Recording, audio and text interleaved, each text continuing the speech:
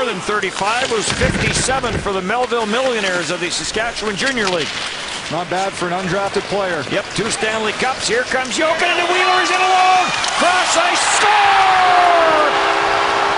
That may have been a penalty shot, but it doesn't matter. Well, how important is it to continue to drive to the net? Olli Jokinen, great job in the neutral zone by Winnipeg. That creates the turnover, and then Wheeler's makes it happen again. He's able to get past everyone. As Dustin Byfuglien, Wheeler up on the play, little play to Jokinen, back to Wheeler through the middle. Wheeler gets hooked, and Jokinen following up his flurry gets the right toe on the initial shot by Blake Wheeler. He was the call, and then Jokinen just chips it past him.